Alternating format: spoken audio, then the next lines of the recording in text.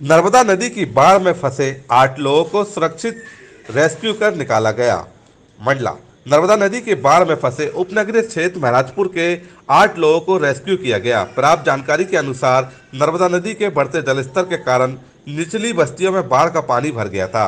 महराजपुर के मंडलेश्वर मंदिर के निकट बाढ़ के पानी में आठ लोगों की फंसने की सूचना प्राप्त होने पर होमगार्ड व एसडीआरएफ की टीम तत्काल मौके पर पहुँची और सभी आठ लोगों को रेस्क्यू कर सकुशल बाहर निकाला गया।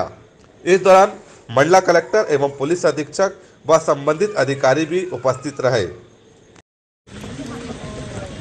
क्या पूरा घर का सामान भर के ले आए? खाने पीने का सब ले आए? कुछ कुछ छूट तो नहीं गया? हाँ?